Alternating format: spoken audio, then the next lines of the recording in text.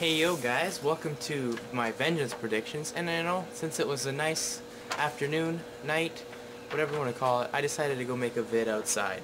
Now this vid, since I probably won't get have time to make any tomorrow, will be my Vengeance predictions video, and I'll guarantee you they're going to add a match, and I won't predict it so but according to WWE.com, I got these matches. We'll go from bottom to top.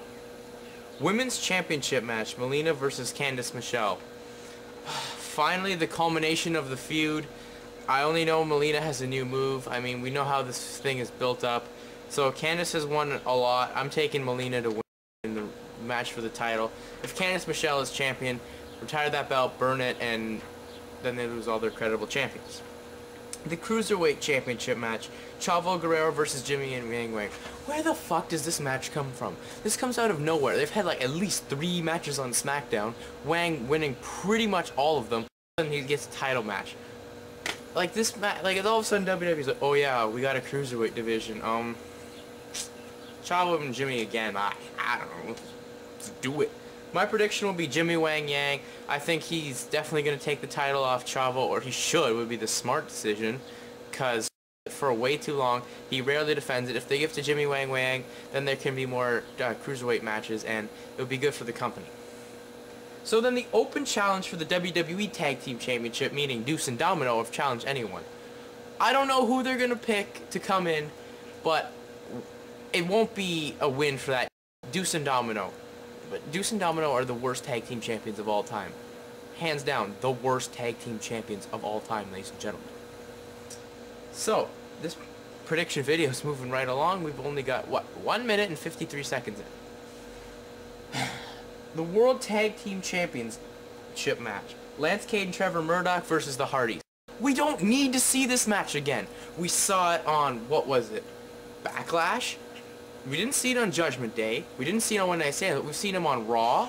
We've seen these people so many times together, we don't need to see it. And as you think the Hardys have finally broken up, Vince just brings them back together to piss we want Matt Hardy's world title push. When are we going to get it? I thought for sure we were going to get it on the uh, the first three-hour Raw, the draft special, but no, we did not get that because you are a pussy-ass bastard, Vince, for not doing it and I don't care. I know Cade Murdoch are going to win. We're probably going to get a London Kendrick feud if Paul London doesn't get fired, which he probably will because Vince is being an idiot with his stupid storyline. But anyway, I just had to get that rant out. I mean, I haven't even voiced my opinion on the Vince storyline.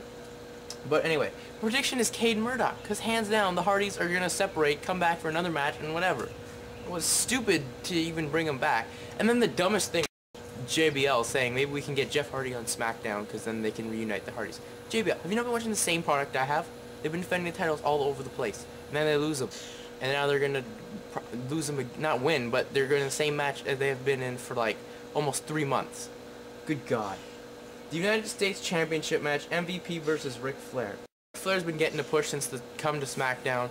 Uh, he will not win against MVP, but I'm actually going to look forward to this match because MVP stated he'd be a greater U.S. champion than Rhodes, um, I forget who, Flair, uh, and someone else. I can't remember that promo exactly. So that will be a good match. I mean, definitely MVP will win. I'm, I want MVP to have a damn title reign, but I don't think he's going to have a fantastic match with the chopping monster Ric Flair, to quote my homie Excellence.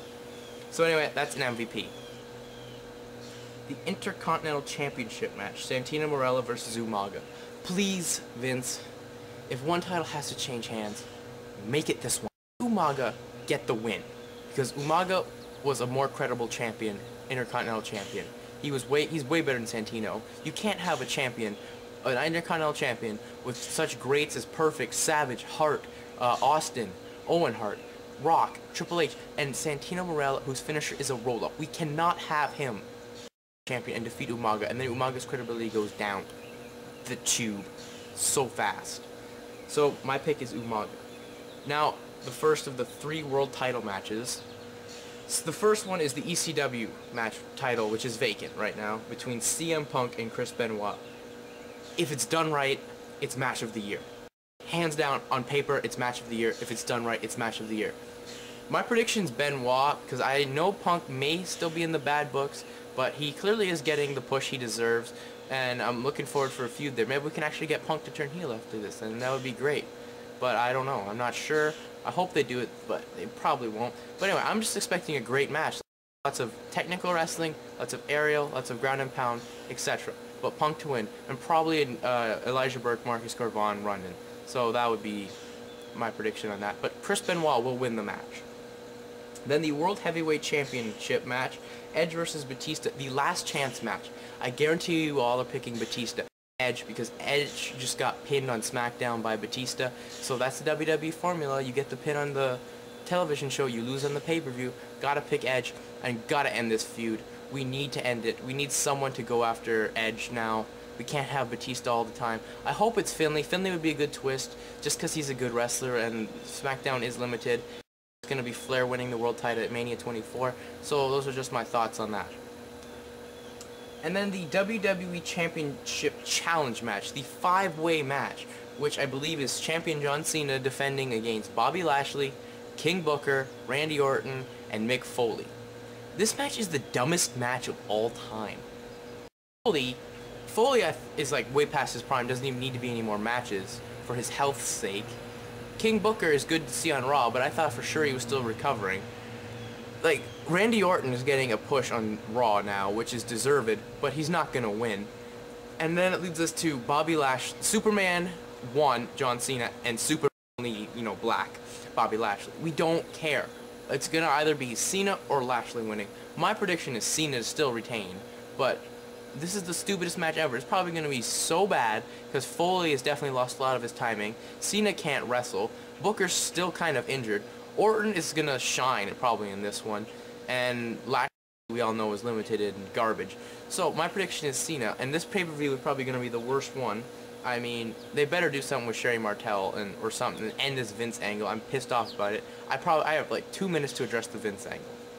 The Vince McMahon angle is the stupidest angle in the history of wrestling. First of all, I know that I've read on No DQ and other websites that they're honestly thinking of doing the Ghost of Vince McMahon. No, we don't want to see the ghost of Vince McMahon. Second of this storyline is stupid because clearly you saw how it was edited where he took forever to shut the door and then it exploded. Third of all, they're planning on firing Paul London because he smirked and wasn't serious during the Vince walking around backstage. Like that's the of all time. Firing a great talent for that a stupid purpose.